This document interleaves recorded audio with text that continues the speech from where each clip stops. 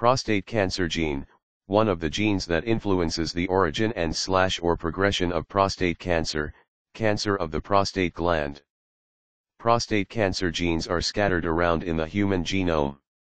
They have been found to date on chromosome XQ27, Q28, on the X chromosome in region XQ27, Q28, and on chromosomes 1Q25, 1Q422, Q43, 7P22, 8P22, 10Q25, 11P11.2 and 17P11.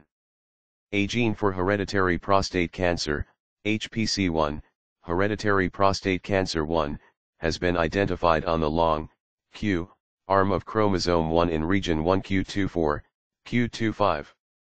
The gene encodes the enzyme ribonuclease L, RNASEL, which acts as a tumor suppressor.